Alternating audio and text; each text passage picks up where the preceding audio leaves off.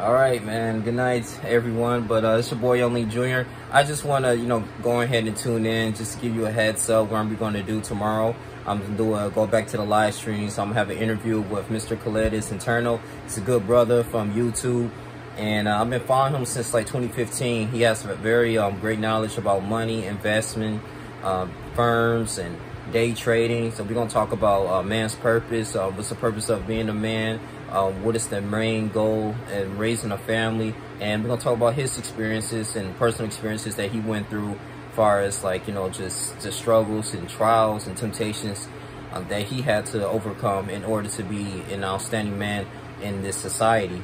And uh, I just want everyone to tune in. I'm gonna live stream it on Facebook. I'm gonna share this on Twitter. It's gonna be on YouTube, obviously, and I'm just gonna have a good time, man. So I want the moderators to come in and anyone to support. But this your boy Only Junior. You guys continue like, comment, subscribe. Um, just show a lot of love to my brother KhalidIsEternal, man. It's gonna be a great day tomorrow. I'm out. Deuces.